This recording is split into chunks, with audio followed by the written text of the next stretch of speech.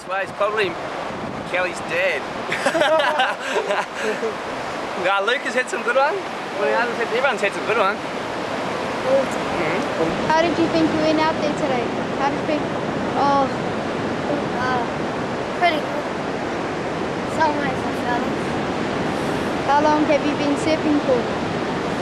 Sleeves, sleeves, Did you catch any big waves? uh, couple. How long have you been surfing for?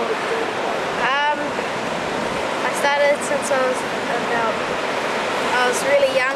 At, I started at a beach called up north.